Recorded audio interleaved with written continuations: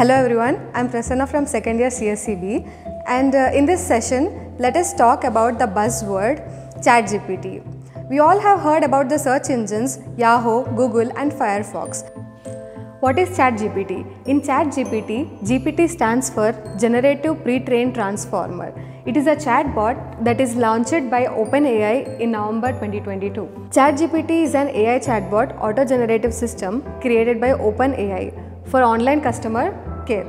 It is a pre-trained generative chat which makes use of NPL which is natural language processing.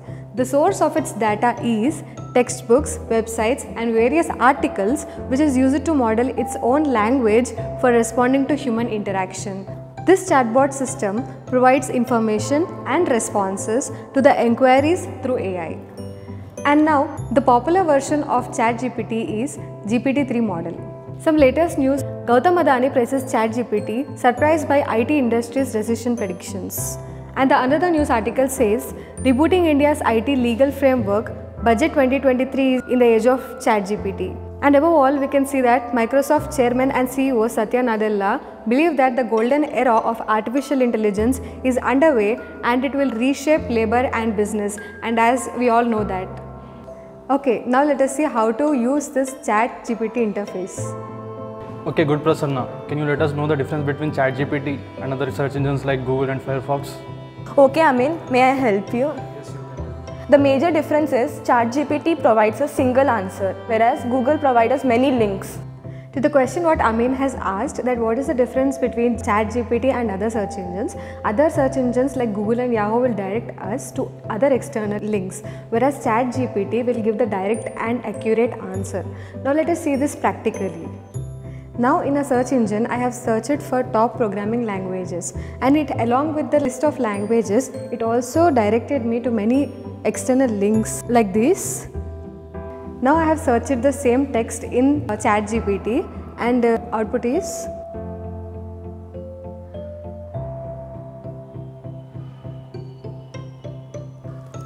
When I have searched the same thing that is top programming languages in ChatGPT, it has given me the direct uh, list of top programming languages like Python, JavaScript, Java and C++. It is as simple as it is and uh, it is also convenient and it protects us from opening any dangerous websites uh, etc. Now we'll see the features of ChatGPT. The main feature of ChatGPT is generating response in a text format. Therefore, it is suitable for chatbots, AI system conversations and virtual assistants. It can also give answers in a natural tone and it can also generate stories and poems. Moreover, ChatGPT can write a code in whatever language we require, write an article, translate, debug and write a story or a poem. Raghav, how can we access this ChatGPT? Nice question Rohit. You can access by simply signing into chat.openai.com by creating OpenAI account. Now we will see how to create OpenAI ChatGPT account. Steps to follow to open and access ChatGPT account. For sign in, we need to sign up and next uh, this page will be open. Continue with Google account, then our ChatGPT account is created. After creating the ChatGPT account, then click on login. Whenever you click on login, it will ask for your verification by entering your mobile number. Then OTP will generate to that particular number. Then after account verification will be done. After the successful verification of your ChatGPT account, this ChatGPT page will be opened. Does anyone know about the differences between chatbots and search engines? Yes, Manasa. Chatbot is a software which simulates human-like conversation. Nowadays, one of the famous chatbot is ChatGPT. But whereas search engines do not perform like this. Does ChatGPT helps us to learn programming? Yes, we can learn program using ChatGPT. Now we will see one example.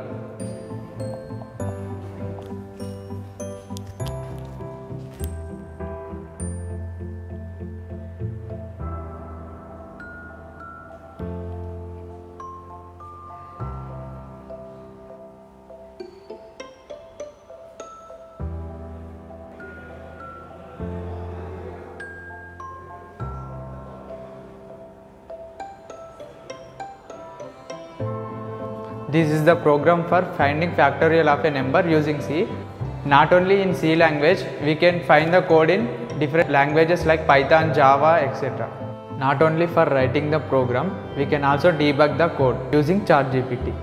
I've also heard that ChatGPT helps us to create content for ebooks and also blogs. Is it true? Yes, Nandini, we can create content for ebooks and also blogs using this ChatGPT. Now, uh, not only that, we can even search for many other things and the results are amazing. Now, let us see the results for the searches. Now, I have searched for Hyderabad tourism. Let us see what is the result of this.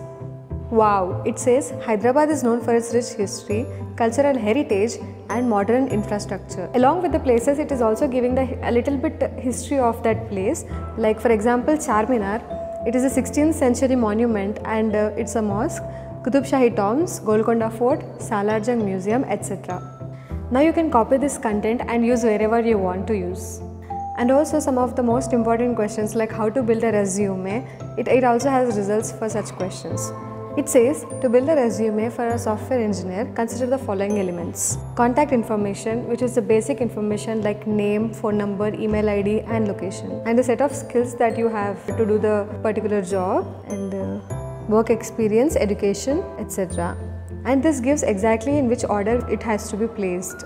Not only these, even we can write stories and poems also. Now we can conclude that ChatGPT has been very famous since its release and is all set to revolutionize the tech world. All you need to do is go to OpenAI's ChatGPT website and use it in your browser to test it for free. There is no specific app to use. You can use it in your mobile and desktop websites. You just need to make an account and use it for whatever you need. Be that for personal growth, expanded research or something else. Thank, you.